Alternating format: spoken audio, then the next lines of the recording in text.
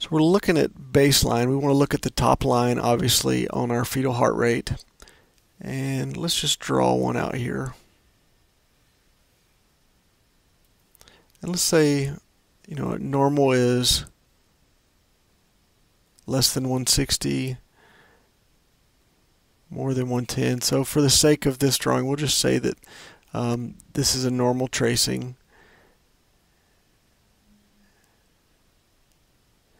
And our line is here, right? Our baseline, we'll say if this is 50, this is going to be about 135 here. Our baseline is simply the most straight line across the tracing. Okay.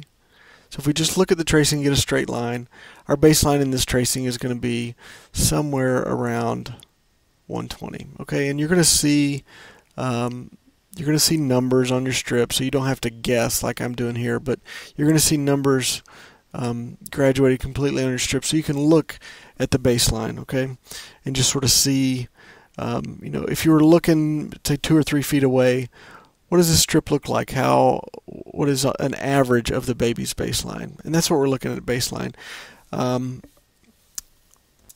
Let's talk a little bit more about baseline and what is normal and what can cause variations and, and real changes in the baseline that we tend to call accelerations and decelerations. Remember we said that a normal baseline was between 110 and 160, right? And there are um, obviously terms. Below 110 we call fetal bradycardia. And above 160 we call fetal tachycardia right? And there are um, specific things that cause each of these. So we'll say Brady is here, Tachy is here, and this is 160 plus, and this is less than 110. Okay, so fetal bradycardia is caused by head compression, cord compression it is called by caused by fetal hypoxia. And sometimes this is referred to as uteroplacental insufficiency, but uh, you know I tend to like fetal hypoxia a little better, so we'll go with that. Fetal bradycardia is also caused by drugs, and it is caused by fetal heart blocks. You know, so babies can have congenital heart blocks too. Don't forget that. Okay.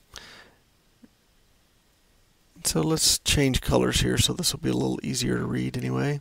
Fetal tachycardia uh, is caused by maternal fever. It's actually an early sign of maternal fever and maternal infection. Okay, and maternal fever then is an early sign of amnionitis. Right.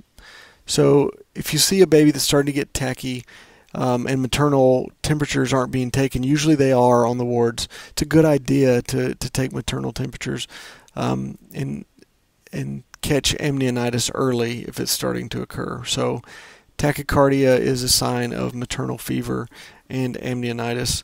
Um, it is also a sign of fetal hypoxia, just like it is bradycardia. It is a sign. Um, fetal tachycardia can be caused by drugs, and it can be caused by um, tachyarrhythmias. I'll save that one. So, like SVT, again, congenital SVT, congenital um, conduction abnormality that baby can have, and it can be caused by thyrotoxicosis. Um, and most of the time, we're talking about maternal thyrotoxicosis here.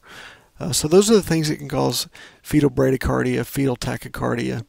Um, and it, it's important to keep those things in mind um, because ultimately, when we see either fetal tachycardia or fetal bradycardia, we're going to be trying to address one of these underlying issues. Okay, so now that we've talked about our B, our baseline, um, in the next lecture we'll the next part in this series, we'll move forward to variability.